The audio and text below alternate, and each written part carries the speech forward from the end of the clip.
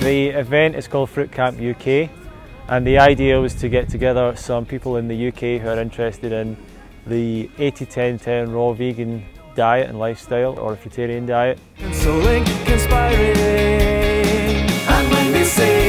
It seemed like in other countries there was little groups going on and people were getting together and starting festivals and stuff but in the UK there wasn't that many people who were seemed to know each other and were meeting up regularly and uh, so the idea was kind of to try and get a bit more of a community going.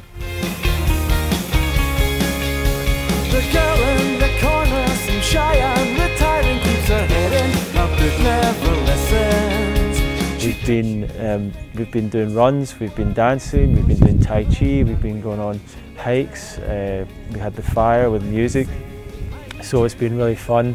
Uh, we've been eating loads of good fruit and we've just been enjoying meeting new friends.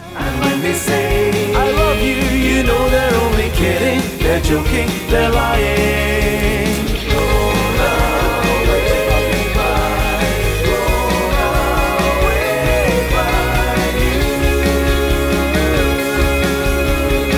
People in this lifestyle tend to be very active, uh, quite creative. They, there's uh, people come here who are yoga teachers and dancers and all sorts and, and they were happy to teach a class uh, for, for nothing really most of the time uh, just because they love to share and love to to exercise and we were doing some circuit training and some weightlifting.